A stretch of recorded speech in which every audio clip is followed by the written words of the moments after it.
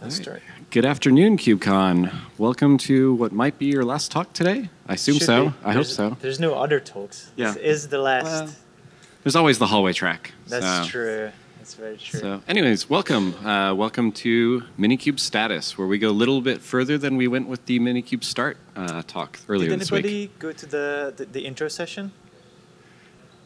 All right, a handful of you. Excellent. Um, well, shall we start? Yeah. Um, I guess we will go through some of the initial things for those who uh, weren't in the intro session. So, for example, who we are. Uh, my name is Bálint Pató. I work at Google uh, for the last year and a half now, and, and started to work in the, uh, the container tools team uh, like three, four months ago. And uh, I'm leading the effort around Minikube and Skaffold, uh, so and, and help out with Kaniko as well, time to time. And my name is Thomas Strömberg, and I too work for uh, Google. Uh, about three months ago, they offered to pay me to work on Minikube full time. So that's what I do now. Um, uh, and I also worked a little bit on Kritis. So, All right, so uh, the agenda today is a, a quick architectural recap for those of you who did not attend the intro. Uh, a couple of feature demos for new things, uh, a little talk about tinkering with Minikube, uh, depending on timing. Uh, plans for 2019, and we will leave time for questions. Uh, feel free to ask questions during or at the end. yeah, we do want to have this one much more interactive than, than the intro was, so feel free to jump in, ask questions. Uh, we go as deep as we can in this 35 minutes, Yeah. uh, and uh, yeah. Yeah, this is more of a, shallow dive than a deep dive, given the time constraints, but we'll do what we can. Um, so first, uh, we've had a lot of contributors over the years. Uh, I think it was 387 by the last count. 390 this Oh, morning. 300? Okay, Jesus. All right, well, thank you. Uh, thank you to the 13, or I don't know, thank you to all the people who, uh, who have contributed, uh, especially the new ones. Um, yeah, uh, we couldn't do without you, so. Yeah. So, uh, a quick architectural recap. Uh, so, uh, what is Minikube? Um, well, I guess, how many of you have not used Minikube before? All right, so a couple. Um, so, when you run Minikube Start, uh, it's effectively uh, going through these different stages of setup. We've got a machine driver that sets up uh, a VM, uh, provisions a machine. Uh, in this case, it's KVM2. Um, but we also support a huge variety of other things. Uh, for instance, uh, VirtualBox, VMware Fusion, um, Hyper-V, HyperKit. So we provision a machine, and what's the first thing we do when we get on, onto a machine? Well, nowadays we run kubeadm to set up Kubernetes, uh, and we set Kubernetes up with real live released binaries, and it's a real normal released kubeadm. The idea with Minikube is once you get the VM provision and kubeadm is done, it's real Kubernetes. It's, there's not really any magic involved. Uh, there used to be a lot of hacky things in, uh, before kubeadm was involved, but uh, that's it for there. Um, so we also run a container runtime. By default, it's Docker. Here I selected CRI-O. We're going to actually do a little demo with Containerd, uh, Containerd and gvisor. Um, on top of that, we run Kubernetes. Uh, the default right now is V110. Uh, that is somewhat shameful to me because I really tried to make V112 the default, uh, and I failed because it was actually it was too slow to provision, so we backed it out uh, as the default. But we hope to do. I'd like to do V113 by the end of the year. Uh, now that I think we got the performance kinks out. Um, so we also have a vast add-ons uh, marketplace, so as you uh, as we'll talk about a little bit. Um, so here, you know, I'm deploying Ingress, and then we have your app, uh, which is the whole reason you started on this long journey. So, so new feature demos. All right. So, I wanted to show uh, a very similar demo that I did in the intro, which was uh, running a couple of things on Minikube. So, Minikube currently is up. Minikube status. You see that it's running. I started this Minikube instance with a little bit more complicated command. So, let me show that. Yeah. So we so the reason why we're starting these before the demo is because Minikube does not work very well with poor connectivity, and we've had full of poor connectivity uh, here, unfortunately. Just didn't want to risk. Yes, uh, no risk here. But so this is the start command that I used. I used VM driver hyperkit. Um, I'm using a little bit larger disk size, and the container runtime is containerd. So that's what uh, is running now uh, in the background. And uh, I'm going to start Minikube tunnel. Uh, so this is a new command that came in with the last release 031. Uh, I need to type in my password because Minikube Tunnel actually creates network routes into the, the service CIDR. Uh, so we can actually start to directly uh, address services that are that are running on the uh, on the cluster, and also Minikube Tunnel has a load balancer emulator. So if you you, you run something uh, let's deploy something. So kubectl run nginx uh, image nginx. So this will deploy a pod. You see that here I have uh, the kubectl get pod from all namespaces, and here I have services. Is it legible everywhere in the room? Large enough fonts? Cool. Um, so nginx spun up. I'm going to expose this now. kubectl expose deployment nginx uh, type load balancer. And this is what previously was not really working uh, in Minikube. You needed a cloud provider to, to provision a, a load balancer and then inject the ingress uh, IP uh, into the, the, the status uh, part of the, the service. So as you can see, Minikube Tunnel recognized that Nginx is running, it picked it up, and then it copies the, the cluster IP into the external IP. So now you can use the same scripts you, use, you would use in, in, in production um, to, to get the external IP of, of your, your uh, services, and then you can uh, actually navigate to it, and, and it should work. There's, there it is. Welcome to Nginx. Um, So- not, yeah. I was going to say, so to recap, if, you, if you're not uh, specifying type equals load balancer, you don't need to run Minikube Tunnel. But one of the whole design goals around Minikube is high fidelity simulations of your production environment. And if your production environment's using load balancers, well, we're not really load balancing, but at least your scripts will still work. So Excellent. Um, another thing that I set up now is a little bit more involved, but I have uh, DNS set up, which is pointing to 1096.010, which is kubedns's IP address. So my Mac host is going to resolve everything under the SVC cluster local uh, subdomain um, through this name server. So theoretically, I should be able to do reach this nginx server through nginx.default svc cluster local. And there it is. So excellent. Um, why this will be cool, I'll, uh, I'll show that when we are actually deploying another application uh, using uh, Docker and Skaffold. Another thing I wanted to show here, what's running, is add-ons. So Minikube add-ons list is how you list add-ons. And then currently we have uh, the dashboard enabled, we have the add-on manager itself enabled as an add-on, uh, we have a registry enabled, and we have gvisor enabled. So we can also see that registry is running here as a, as a, um, as a service and as a, uh, as a pod. We have uh, the gvisor pod running here, making sure that the, the configuration is the right one. And uh, so let's try this out. So what is gvisor? Um, so gvisor is a Google um, developed sandboxing technology that is basically, you can think about it as a user space implementation of uh, system calls uh, or, or, kernel. So it creates a much uh, more secure uh, sandboxing technology for, for untrusted workloads.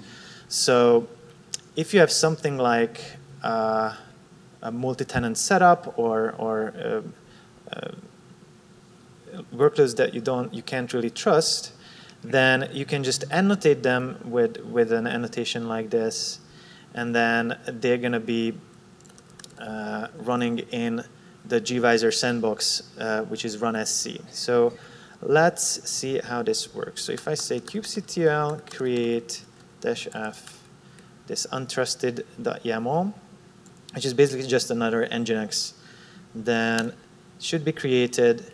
The pod is created. Let's see if it's running. It is spun up. And then one way to test whether you're running in gvisor is execing inside this uh, pod and uh, checking the, the syslog.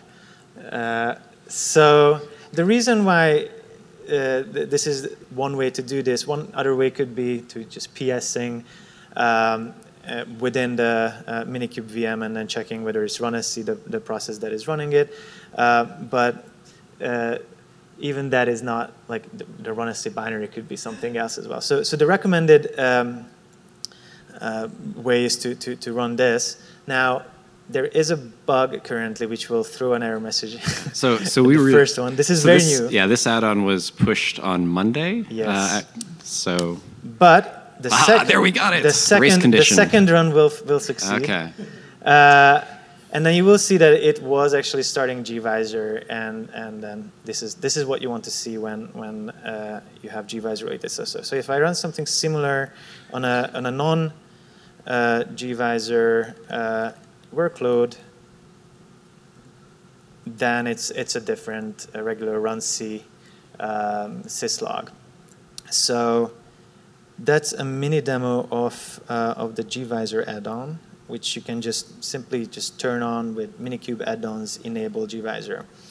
And, Um, and yeah. similarly, if if you have add-ons, if you have a product where you think people will really use it in Minikube, um, or you know, random service that you would like to see tested, and it's com- complicated to set up, uh, the add-ons is basically a marketplace. So uh, feel free to send PRs to add your thing to the add-ons.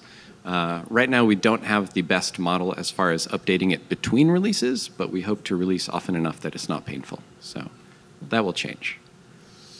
So another thing, so because registry is running now as a as an add-on, it is exposed as a service. I should be able to resolve uh, this uh, DNS name as well. So if I curl, I should just get an empty response. It's it's working. So uh, one cool thing about this is that I can use now this registry uh, from my local Docker client to build images and push push them uh, to this registry, which then containerd itself can use to pull from. So there, I'm cheating a little bit. Uh, there is a this this something this is something that I opened an issue uh, this week about um, that we should have in the containerd config we should have uh, uh, the insecure registry set up for, for the internal registry, and then this whole thing will work. Now it's set up currently, so, so uh, it will work. Uh, I just wanted to set the expectations. If you try it home tonight, this might not fully work yet. Um, all right, so let's do another test. So skaffold is uh, another uh, tool for local developer experience that, that we are developing, and um, it helps creating a continuous development workflow. So as, as you change your files, Skaffold will rebuild your Docker images, uh, tag them, test them, push them to the uh, registry, and deploy the, the, the manifests that you specify in the Skaffold YAML. Uh, it will deploy them to the current uh, kubectl context uh, designated cluster. So currently in this project, I have two services, two artifacts that are being built. One is for listing contributors from uh, the Minikube uh, GitHub project, and then a, a front end which will generate that nice uh, slide that you saw about all the contributors of Minikube. So uh, these, these are here as, as two sub-projects. So this is a little Go uh, project that just builds the Go um, uh, program. And then the front end is um, a, a, simple React.js uh, project. I'm not a front-end engineer, so it's going to be very simplistic. Uh, the code for this is in, in uh, github.com slash balopat slash contrib so you can try this out. Um, so let's try to run this. Skaffold dev would just run this and, and, and try to do uh, the, the, the, deployment and the pushing. Uh, now you can see that the images are defined as, as my repository. Uh, they're pointing to my, my registry in, in GCR. Uh, so I'm going to repoint skaffold to use the, the local registry inside Minikube as a, um, as, as, a registry. So that's going to be the default repository. So it's going to rewire these artifact image names on top of this. So let's see how we deal with this. Another thing is that there's this warning. So this also, sh also shows that uh, we haven't really tested skaffold yet with, with uh, containerd uh, Minikube setup. So skaffold assumes that when you spin up Minikube, then there's going to be a Docker daemon inside of it, uh, which you can reuse. Uh, if containerd is enabled, then um, the Docker uh, daemon is not going to be running. So uh, it is falling back to, to my local Docker daemon, uh, which is running here. And by the way, that Docker daemon also has this registry set up as an insecure registry, just to have one more piece of the puzzle. Uh, and let's see what happens. So doc, uh, Docker build was done. Uh, it pushed most of the layers were already existent. And now we're building the second service, the front-end service, which is a bit larger, so it takes a little bit of time to, to send the build context to the Docker daemon. But after that, it should be relatively fast. We'll build it, push it, and then the Kubernetes manifests will be the, the, the next step to deploy. So in case of the front end, it's a service that exposes uh, it's of type load balancer, so we'll, we should be able to see that as it pops up.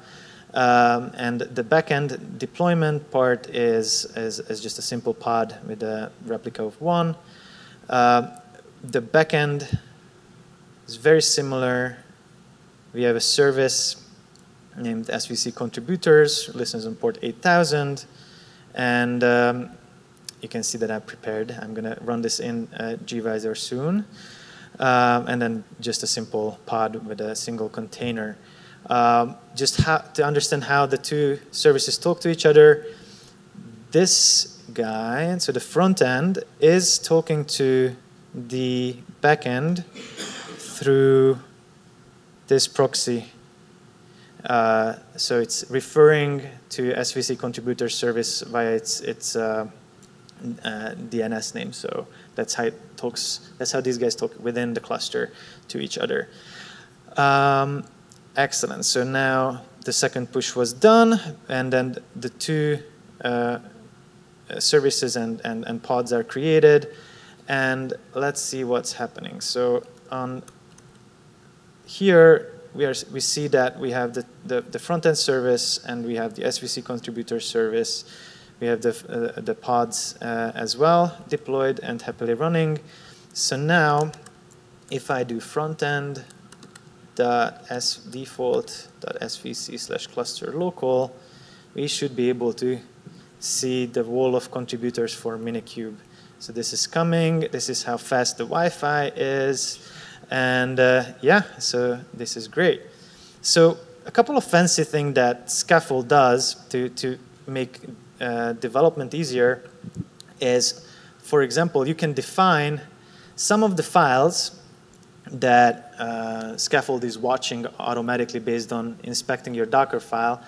Uh, but some of them, so if you just change files in, in your, your, your directory, it will re-trigger the whole Docker build, retag, repush, and redeploy.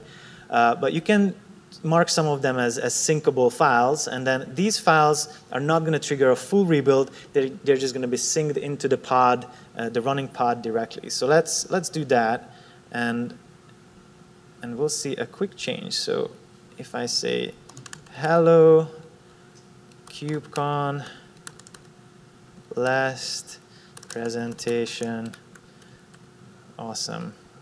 So I hit save and it synced it, so it's already there. So if I alt tab, you can see that it's already uh, updated. So that's pretty awesome. Uh, and then let's do uh, just another test quickly. So if I change uh, a file that is defined as a, as a Kubernetes manifest, it's not going to trigger rebuild either. It is only going to trigger the redeployment. So let's try that with the with the, the, the service contributors backend, I'm going to turn on the, the annotation for gvisor. Yeah, and this should generally just work the same way unless you're using a fancy syscall that gvisor doesn't support yet. Uh, but that seems unlikely, especially for a web app. So it started up, and uh, the logs are being pulled, and it shows that everything is healthy. So if I just refresh, it's still working ish. Okay. And then now we can do our test whether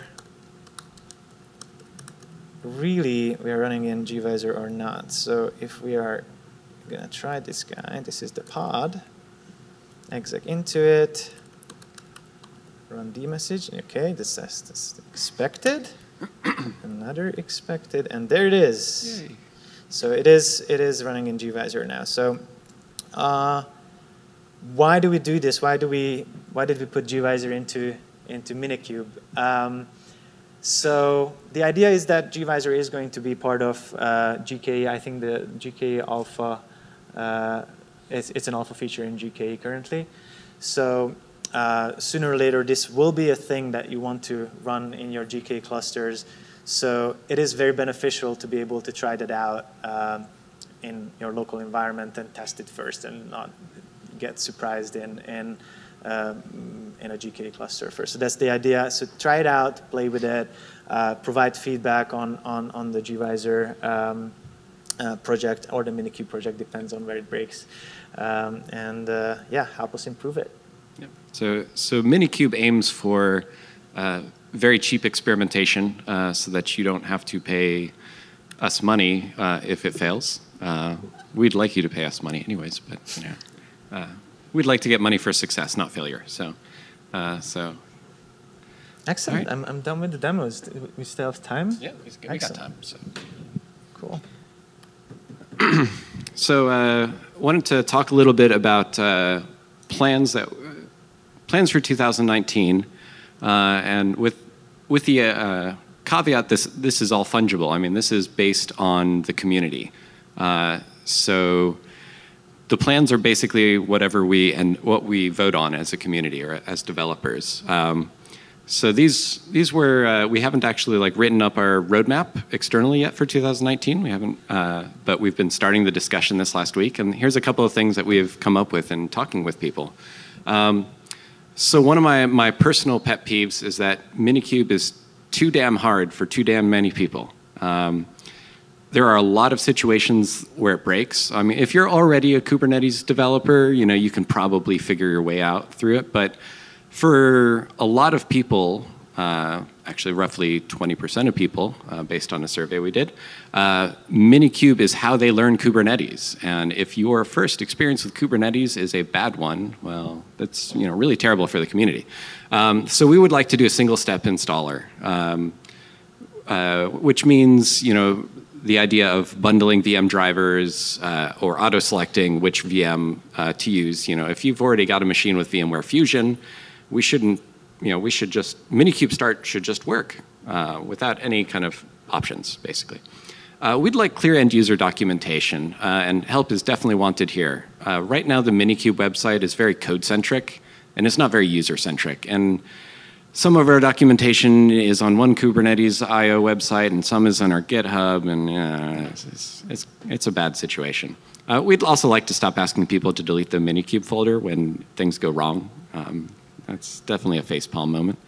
Uh, we'd like to make it easy to debug. Um, and I don't know if you want to talk. Yeah. So one of the things is that so Minikube is not that complicated, seemingly, because it, it's just a VM plus kubeadmin.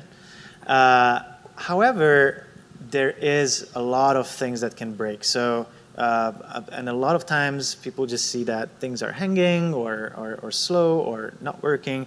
So uh, it, is, it is actually hard to, to pinpoint and, and it requires a lot of uh, back and forth on, on the GitHub issues as well to, to nail down what the actual issue is. So uh, we want, we really want, think that it would be very beneficial to make this make this whole experience better, to, to make it easier to debug, to, to pinpoint where the issue is, have better health checks, better pre-flight checks. If I made a mistake and I have to wait 15 minutes to, to learn that I made a mistake and that's why it's not running and have to go through again a 15 minute uh, thing to try it out, that's a bad feedback loop. We want to make that faster, uh, clear, actionable error messages, and, and just better debugging experience in general. Yeah. Um, and we would also really like to be much more inclusive. Uh, who you see on stage is not necessarily who the users are. We, we don't represent all of our users. We, you know, we're a handful of maintainers, uh, and unfortunately a handful of maintainers pigeonholed into countries that have really great connectivity, uh, and not all of our users do. And so I think Minikube suffers for those users. Um, so this one of the things I called out here is I'd really like Minikube to be offline friendly. Uh, if it was offline friendly, we would have shown Minikube start at the beginning of this presentation. Um, and help is definitely wanted there. Um, and and uh, yeah, efficient open source governance. I, I, I put this down because I think that uh, Minikube was a little bit um, of a really grassroots uh, just quickly get something done uh, in, in mid 2016 uh, type of project. And, and there is not much thought put into yet, like how to make this a, a self-sustaining project in terms of the community. So this is new for us, though. So we really want help, and, and from the community, we will ask it on the c cluster lifecycle uh, uh, meetup group, uh, group as well on the meetings to, to help us in, in defining how are we prioritizing things, how are we going to involve other people, how is it going to be a, a really self-sustaining project that is a, we believe is a key piece uh, in the in the whole ecosystem um, to to be a, a free, open, local uh, experience for Kubernetes.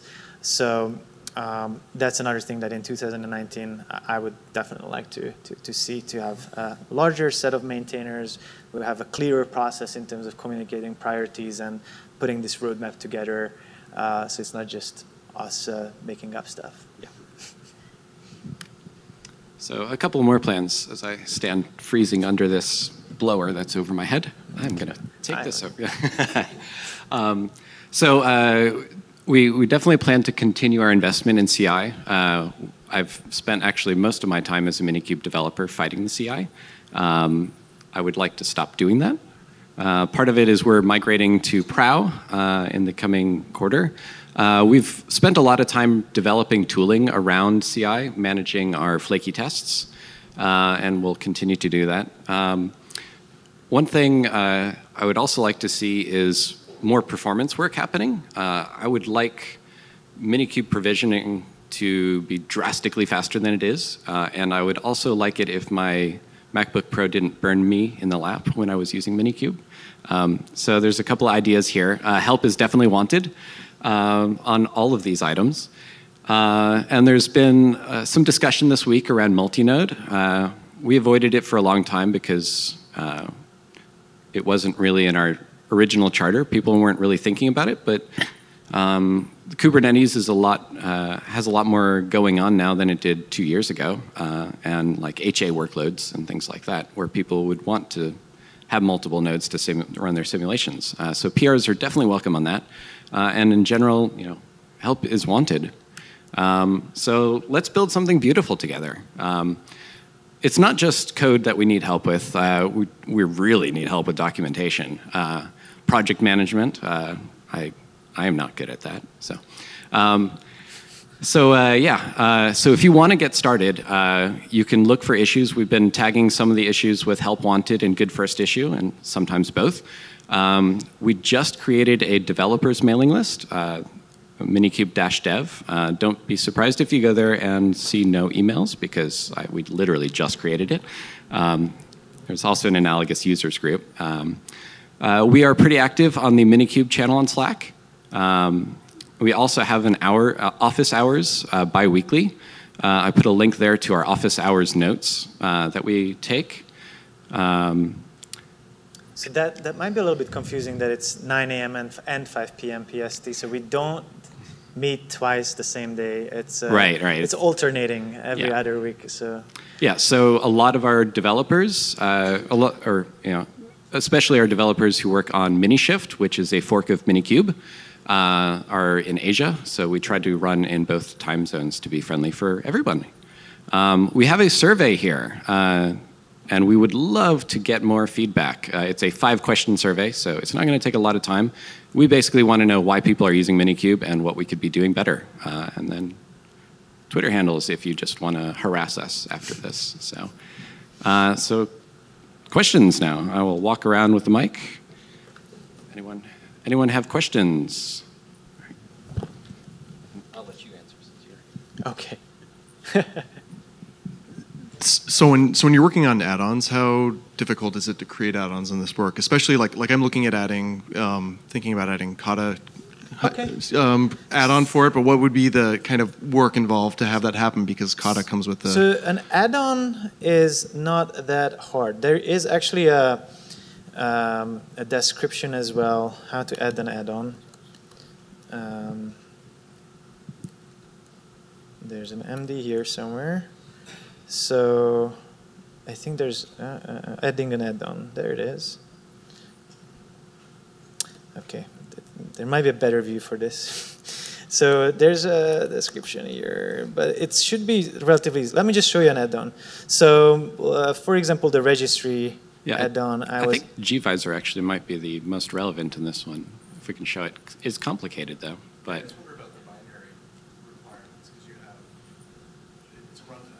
Right.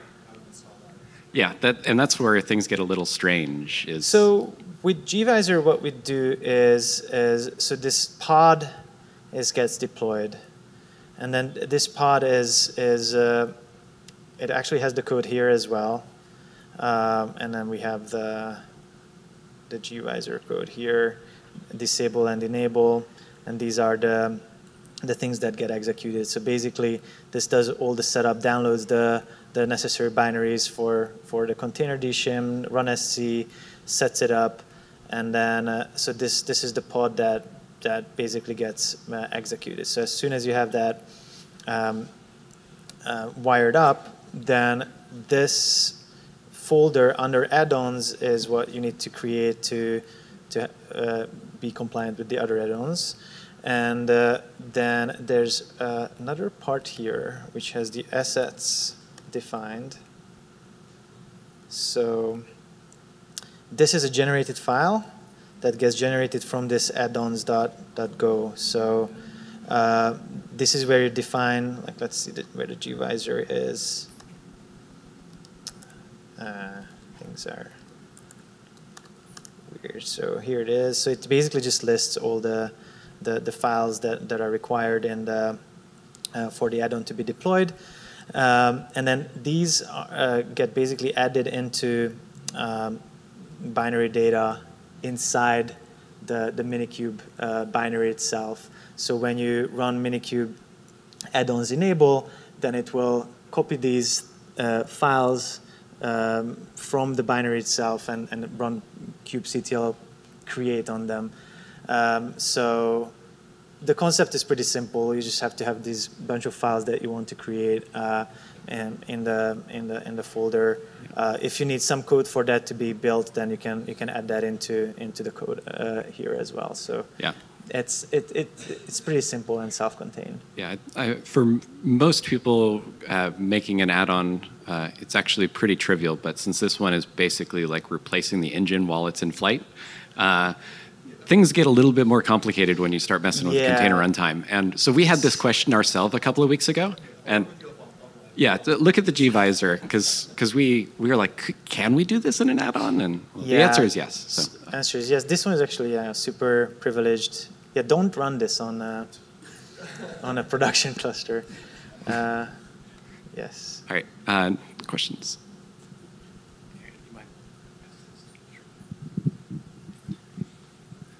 Um, so some of our applications, you know, are approaching tens of thousands of lines of code, and doing a rebuild is just not tenable for a lot of our developers. Um, you can't wait a minute. Is there any interest in adding like a sync rebuild command? So if we sync a directory, rather than actually rebuilding the command, just issuing, you know, a go dep go build within the container after a file is synced? Would that be something? So that would add? be within Skaffold? Skaffold. Yeah. Um, yeah, raise the PR. We are interested in everything uh, performance related there. So uh, we are looking into to to go deeper and, and have, have tailored experience for language communities uh, to make make uh, development faster. So that that is what Skaffold is about. So uh, yeah, uh, Yeah. that sounds sounds like an interesting uh, way to speed that up. So if you wanted to do this outside of Skaffold, so Minikube does support uh, mounts, but I've also heard people running Syncthing uh, between pods in their workstations, uh, which sounds crazy, but you know, whatever works. So, Yeah, it would be definitely nice to, to create native tooling around uh, like built-in tooling. So you can you can do these things somewhat manual uh, and script it up. Could you talk to what you see as the big rocks for enabling the offline uh, install? I think that needs a bit more analysis on our end to, to actually to, to map those rocks out. Uh, one of the trivial things, I think there's the pause container that always gets still downloaded, even though that needs to be cached, should be cached, but it, for some reason it always wants to download it. Uh, there's not that many um, issues. So as soon as you uh, spun up thing, I, I feel like that the for some reason the API server has some something as well. I don't know. Uh, I was experimenting with it, but I have I don't have full answer to that yet. yeah, there- It shouldn't be that many. yeah. Some Uh, I know the guys at Red Hat have written up some document on like how do you hack Minikube to be offline. Uh, where I would like to go with this is that the first time you run Minikube, that it you know download it caches everything, uh, and that so subsequent runs you don't you just it works by default. That's where I'd like to aim. So I work in high compliance environments where they don't have internet access from their development machines. So even if we could just point to like a local registry or something um, and just pass that in via environment variable, that might be a. Okay. Okay, awesome.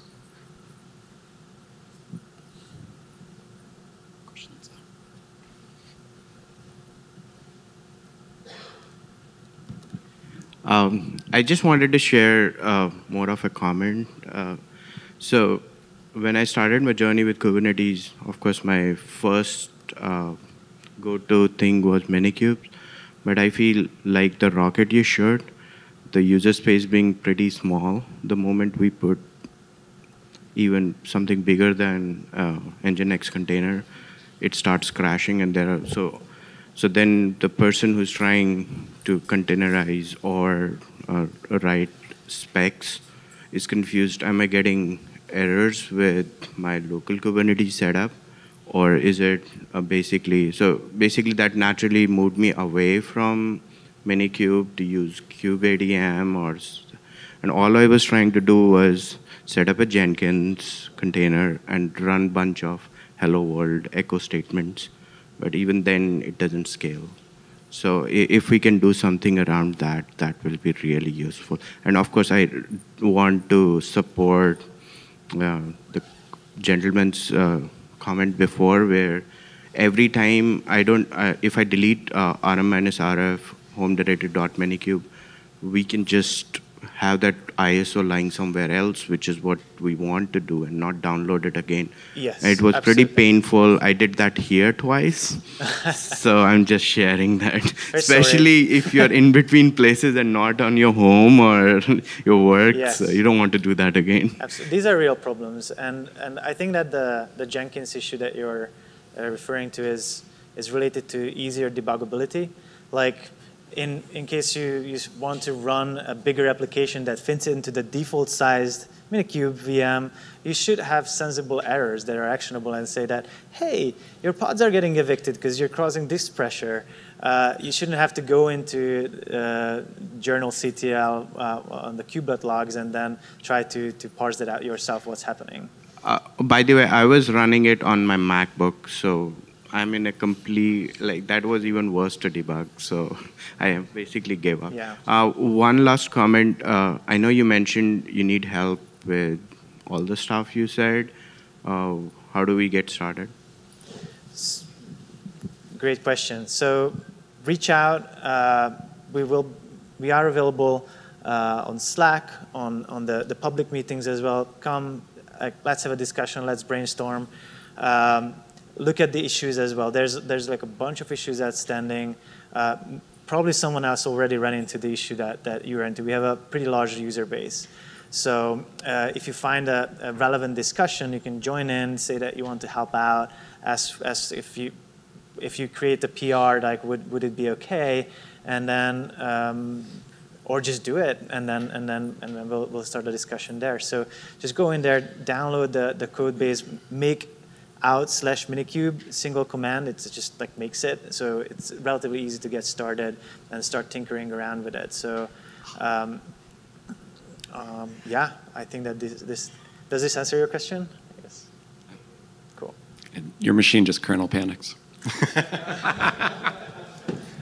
Did it? Uh, other questions?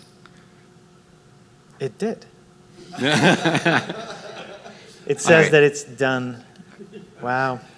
Um, Yeah. Feel free to bump my question after because it's kind of specific, but I'm trying to get mm, Minikube running on a Linux machine, and since I'm already using a bunch of stuff with KVM, I'm trying to stay out of VirtualBox or VMware, etc. And so my understanding was that I have to use a Docker machine driver that's going to use virsh for the network part. I kind of went into a wild goose chase on that, and I was kind of wondering, is there is that kind of officially supported, and where would you? What are the keywords I should Google for in the repo and everything to get me started on the right track? Knowing that I'm comfortable with KVM and stuff, I already have a bunch of KVM machines running, um, so I'm I'm trying to just get into the right direction.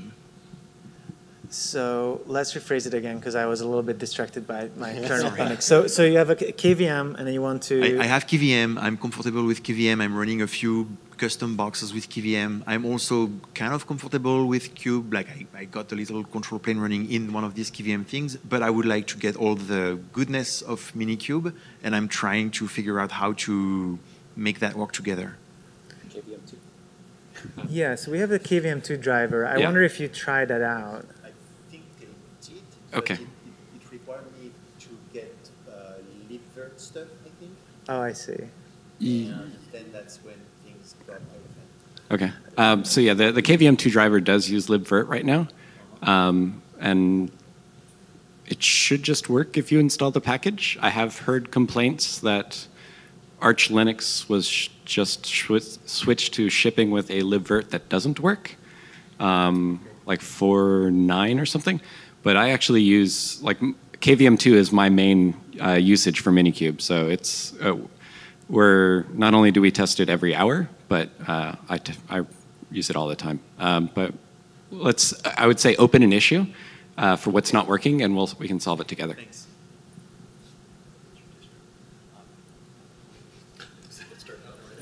All right.